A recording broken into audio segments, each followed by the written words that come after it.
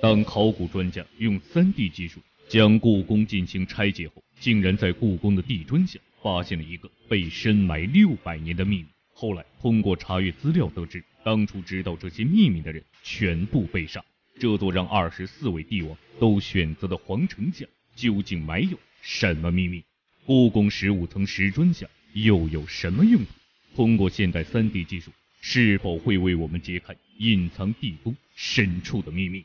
双击点个超级赞，跟着阿金一起往下看。一九七六年，因为唐山大地震的原因，故宫大殿前面的地砖因为震感波及出现了裂痕。当专家进行整修的时候，竟发现了一个尘封六百年的惊天大秘密。故宫又称紫禁城，这座占地七十二万平方米、建筑面积十五万平方米的宫殿，是世界上最大的木质结构古建筑之一。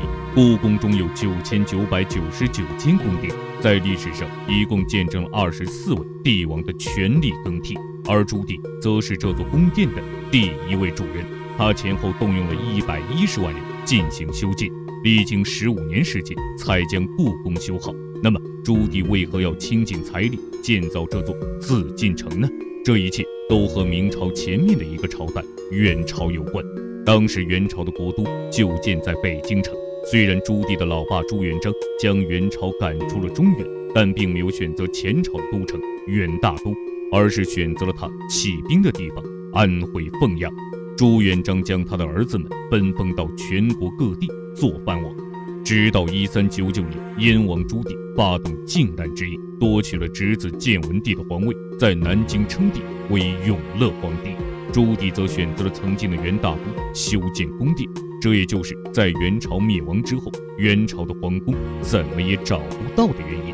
在此之前，专家一直在寻找元朝皇宫，万万没有想到会因为重新修整地宫大殿前面地砖的时候，发现了一些瓷器碎片。后来。通过专家对这些瓷器碎片进行修复后，竟然发现这些都是属于元代时期的瓷片。这一发现令所有人都震惊不已。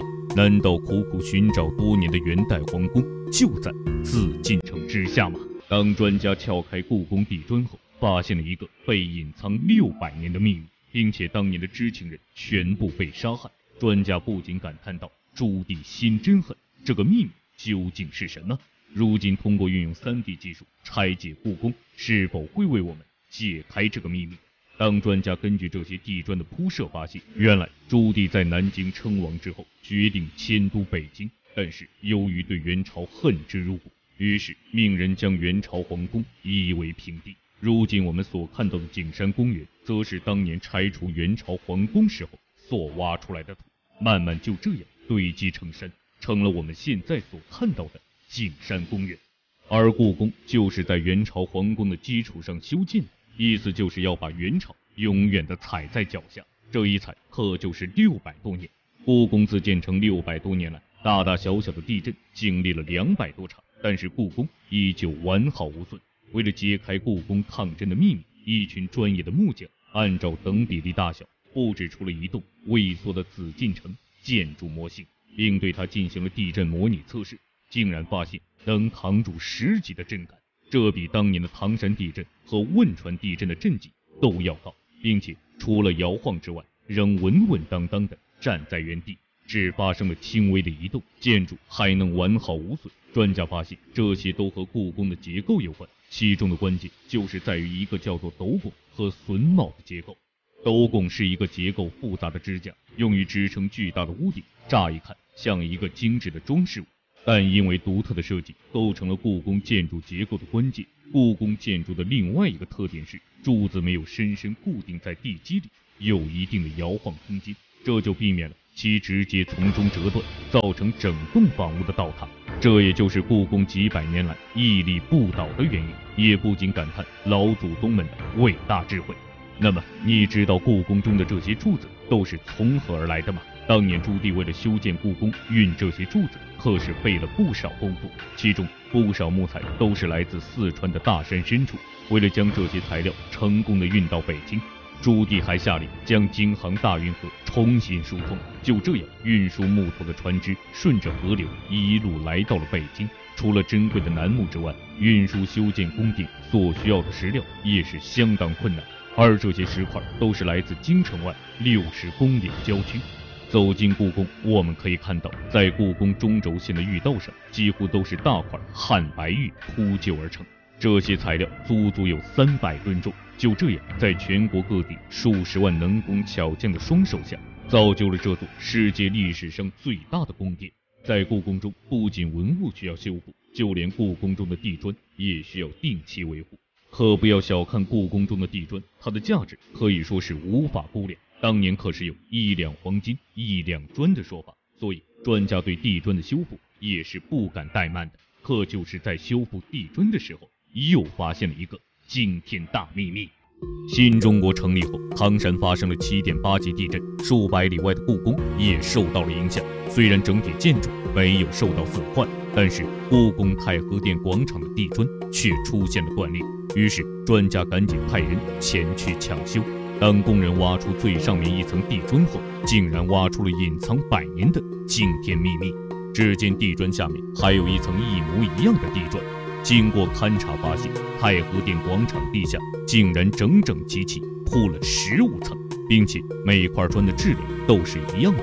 由此，专家很是困惑：朱棣为何要在故宫地砖下又铺那么多地砖？当专家查阅大量文献并集体讨论后，得出结论：故宫地下之所以铺了十五层地砖，是所采用的安全措施。因为太和殿位于故宫的中心位置，又经常会举行一些盛大的典礼，并且每天都会有大量乃至各国的人士前来觐见，所以安全问题非常重要。与此同时，还考虑到地面万一遭遇特殊情况出现坍塌，造成地面凹凸不平的情况。又或者夏季雨水太多，造成地基不牢等原因，而导致出现坍塌的危险。于是将地砖修建了很多层，其中最重要的原因，则是为了防止刺客挖地道行刺皇帝。为什么会这么说？因为朱棣的仇家非常多。当时朱棣不仅下令把皇宫的城墙修高十几米，还将地砖铺上好几层。这样一来，别说是刺客了，就连穿山甲都不一定能够挖穿。也正是因为这次修缮，让专家们无意间发现了埋葬在故宫地下六百多年的秘密，由此不得不佩服朱棣的用心良苦。除此之外，最残忍的还是在工匠们修建完故宫后，朱棣为了防止他们泄密，还将参与的工匠们全部毒哑，甚至杀人灭口，真是无毒不天子呀！故宫中所埋葬的秘密还有很多，这座承载二十四人帝王经历了六百多年的伟大建筑里。每一砖瓦都藏有属于他自己的秘密。本期视频到这里就结束了，感谢各位的观看，欢迎大家在评论区或者弹幕中积极讨论。我们下期再见。